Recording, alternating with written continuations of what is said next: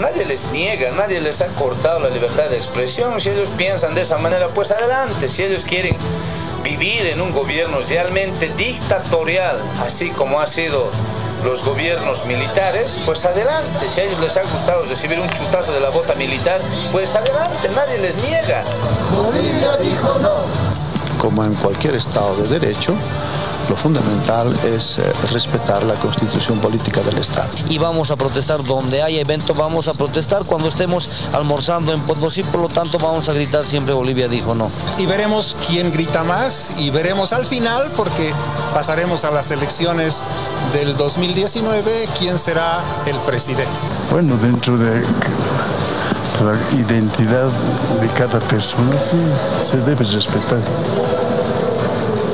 Pero el respeto no solamente a un lado, sino a, ambos lados.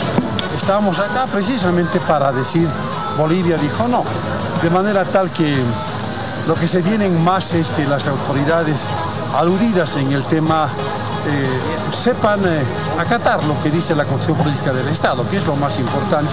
Si usted ve e identifica a las personas que están en estos grupos, son viejos y tradicionales políticos. Porque el ministro de Defensa no sabe cuáles son sus funciones y se mete a hacer declaraciones que violan la constitución política del Estado.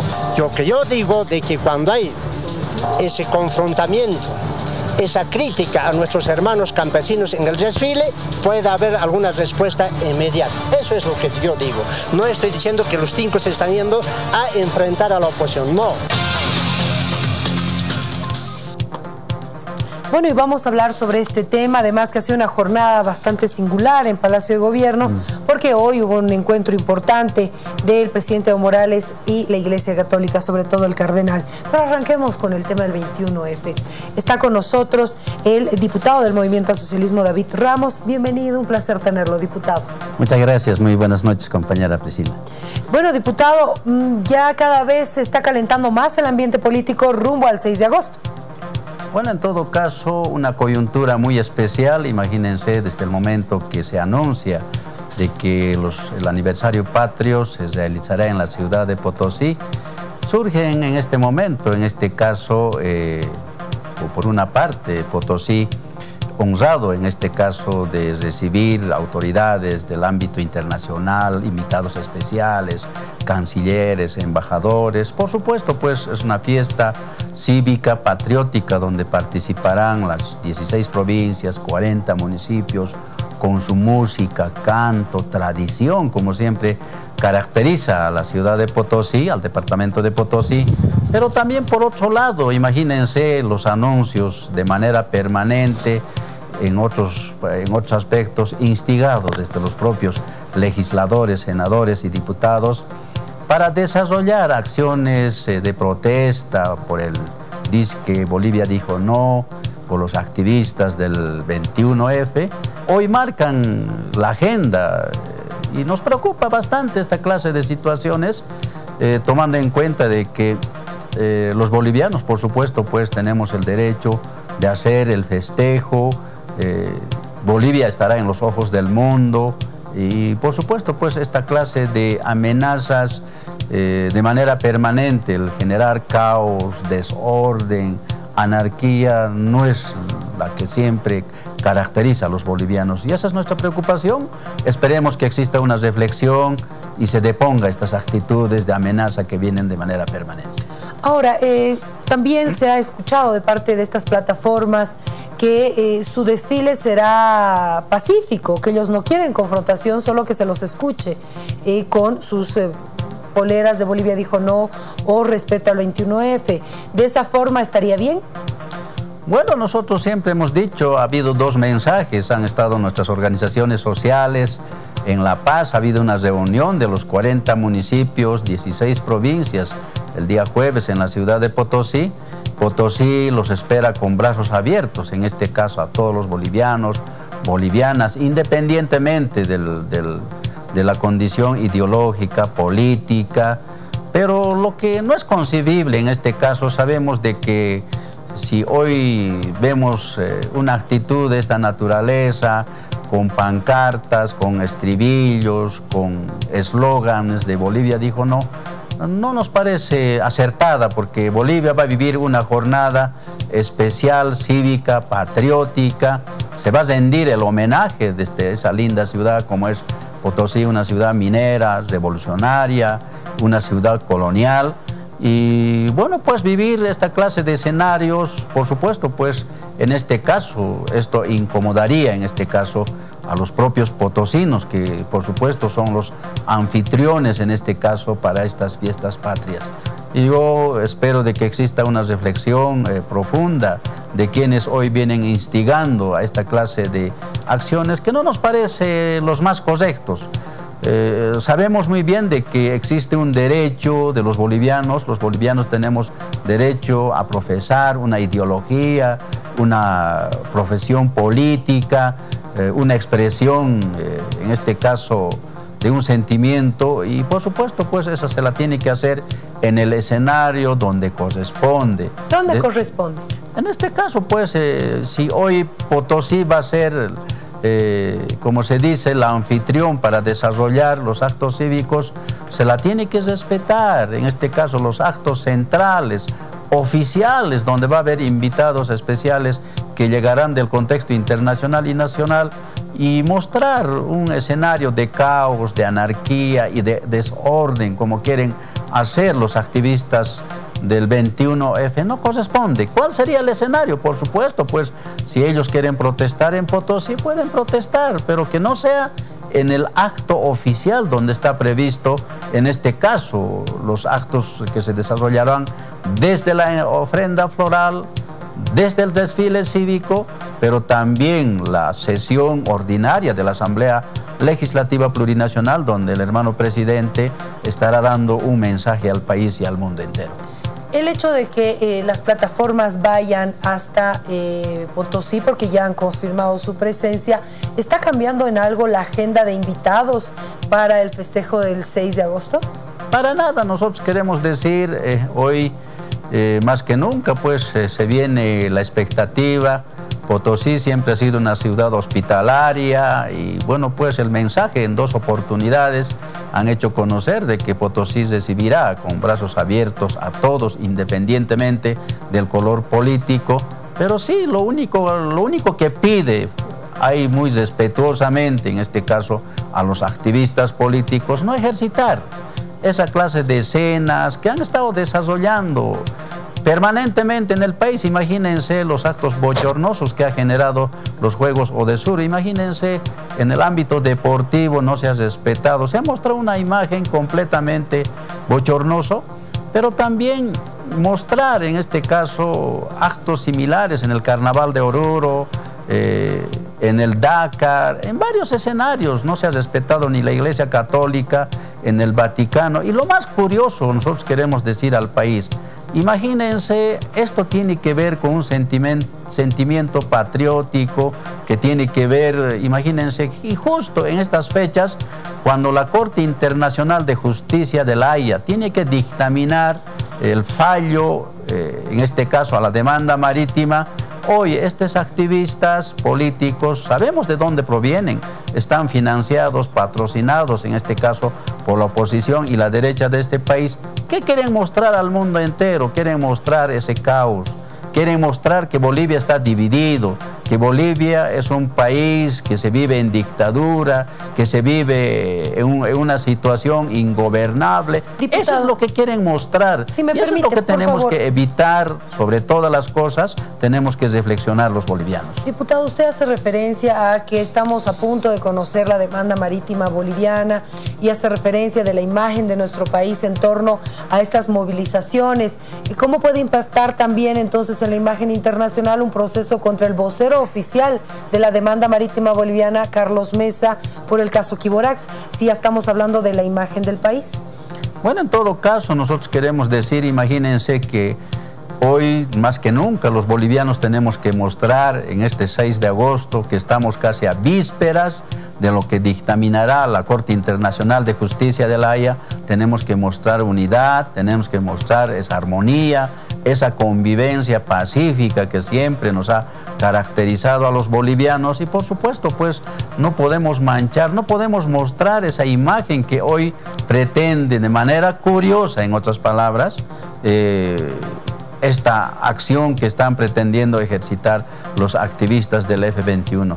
Con relación a la, situación, eh, queremos decir nosotros de que los acontecimientos han surgido de esta manera, hay un problema en el ámbito jurídico, en el ámbito eh, técnico, económico, que nada tiene que ver con el tema político, ni mucho menos con, el aspecto cívico. ¿Por qué tiene que ver el 21F con la demanda marítima boliviana y por qué no tiene que ver el proceso contra Carlos Mesa y la demanda marítima boliviana?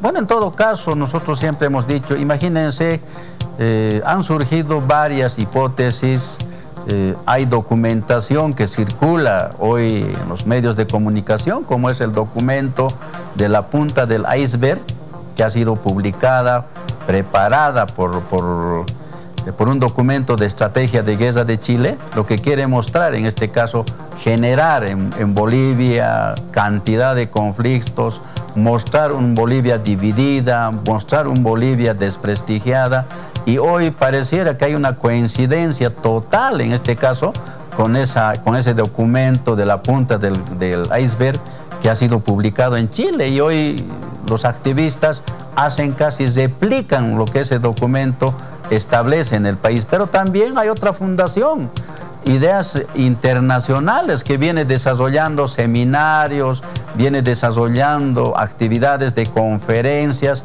también ligadas directamente a este ámbito ideológico. ¿Cuál es el objetivo central de esto? El objetivo central es aniquilar completamente la figura, el liderazgo del compañero presidente, tomando en cuenta que el compañero presidente, ya conocido en el ámbito nacional e internacional, es ganador en las futuras elecciones nacionales. ¿Y qué están generando desde afuera, desde organismos internacionales? Es precisamente pretender aniquilar, en este caso, su liderazgo en la comunidad internacional como también en el ámbito nacional. Eso coincide directamente, por eso para nosotros es muy curioso en este momento, justo, justo en el momento, faltando par de meses donde se va a dictaminar el fallo de la Corte Internacional de Justicia de la Haya, hoy pretendan estos activistas políticos ligados directamente a los funcionarios del otrora neoliberalismo, patrocinados por estas organizaciones internacionales que me permito hacer conocer, hagan ese escenario pretendiendo mostrar un Bolivia dividida, un Bolivia convulsionada. Diputado, permítame por favor, ¿usted cree entonces que eh, mostrando supuestamente una Bolivia dividida, con todas estas eh, características que usted hace referencia, podríamos perder el fallo de la Haya? No tenemos un sustento jurídico, como bien lo ha explicado el propio ministro Arce, eh, lo han explicado los abogados, o sea, nuestra demanda tiene un sustento jurídico histórico que eh, tendrá que ser analizado en esa base por los jueces, más allá de lo que pase políticamente con Bolivia. ¿No cree que es así o usted cree que este 21F y estos activistas puedan tener ese impacto en la Corte como para que el fallo pueda ir en contra nuestra? Lo que estoy indicando es de que sí, Bolivia hoy no está solo en esta demanda, hay una solidaridad de la comunidad internacional, pero hay en este caso una estrategia del vecino país de Chile que quiere generar una división, que quiere generar una convulsión, que quieren generar precisamente justo en este momento para mostrar de que Bolivia es inviable, como siempre lo han hecho históricamente. Entonces, esa es nuestra gran preocupación, esa es nuestra gran visión. De manera curiosa, imagínense cuando los bolivianos a vísperas de que se dictamine de manera patriótica, deberíamos estar aunando, mostrar unidad, armonía, un sentimiento de que Bolivia aspira nuevamente a retornar a las costas del Pacífico. Esa es nuestra, nuestra preocupación, sin embargo, Pero diputado, no me ha respondido sobre Carlos Mesa. ¿Por qué nos tiene que preocupar el 21F y los activistas y esa imagen? ¿Y por qué no con Carlos Mesa, que es el vocero oficial de la demanda marítima boliviana? ¿No puede dar eso también una imagen de, que eh, hay división? El propio asambleísta chileno decía, ¿y qué pasa? ¿Por qué es, el propio gobierno de, Evo Morales está demandando al vocero de la demanda marítima? Eh, ¿No cree que eso también afectaría una imagen, como usted dice? Bueno, en todo caso, nosotros eh, queremos decir... Eh, lamentamos en este caso que el aspecto de esta demanda, de los acontecimientos eh, que han surgido desde el momento que el salar ha sido dividido, ha sido descuartizado, para favorecer en este caso a empresas precisamente de origen de Chile, eh, haya sido en la gestión del expresidente Carlos de Mesa durante el 2003 al 2005, Hoy lamentamos de que este acontecimiento surja y esté en estatus jurisdiccionales. Sin embargo, esto no significa de que eh, ya el tema está sacramentado, esté sentenciado, sino que tendrá lugar, en este caso el señor Carlos de Mesa tiene la gran oportunidad, como hasta ahora ha estado manifestando, de demostrar su inocencia como corresponde, pues en este caso. Esto no ha sido una cosa que se ha improvisado en esta coyuntura, sino que ha sido fruto de los acontecimientos que se han dado durante eh, la anulación, la revocatoria de concesiones de, de esta empresa chilena Kiborax. Y bueno, pues esos son los acontecimientos que han surgido. Sin embargo, eh, con esto no quiero decir que hoy Bolivia, naturalmente los bolivianos tenemos que mostrar en este caso qué es lo que nos interesa en este momento de que Bolivia no genere una confrontación, no genere violencia, no genere un escenario de caos, de desorden, de anarquía, como pretenden en algún momento los activistas que han estado en este, en este momento instigando y amenazando permanentemente. ¿Podrían ir pacíficamente ellos? Bueno, nosotros siempre hemos dicho, pues, si, si como activistas ellos tranquilamente pueden participar, en este caso, de los actos cívicos, pero no mostrando, en este caso, pancartas, ni estribillos, ni colores, como hasta ahora lo han estado haciendo. Eso, precisamente eso, eh, en este caso, eh, es como decir, eh, Potosí es anfitrión, en este caso es el que va a recibir a todos los estantes nacionales, extranjeros, invitados especiales. Pero diputados, ellos también son parte de Bolivia. Son parte de Bolivia, nunca se les ha negado la presencia. ¿Qué se les está pidiendo en este momento? Fraternalmente, respetuosamente, nuestras organizaciones sociales, todos los días han estado pidiendo a los siete vientos de que separemos el aspecto político con el aspecto cívico. Tienen todo el derecho, pues pueden marchar en Potosí los activistas, desarrollar su movilización, pero no inmiscuirse en actos oficiales que están previstos en el aniversario patrio y ejercitar en este caso su acción de protesta, de estribillos, de pancartas, de letreros, eso desde todo punto de vista, pues imagínense, van a estar nuestros hermanos indígenas, originarios, obreros de los 40 municipios, 16 provincias que tiene el departamento de Potosí y ver esa clase de escenas como hasta ahora han estado ejercitando de manera permanente, no es concebible. Entonces esperemos de que exista esa reflexión, exista una sensatez, exista una responsabilidad con la patria y bueno, pues hay que separar en los hechos, hay que separar las actividades de protesta con las actividades cívicas que están previstas, en este caso en la ciudad de Potosí durante el 6 de agosto, eh, como actos oficiales. Le agradezco mucho, diputado, por haber estado con nosotros en Todo a Pulmón y darnos a conocer la posición oficial. Muchas gracias, muy buenas noches. Gracias.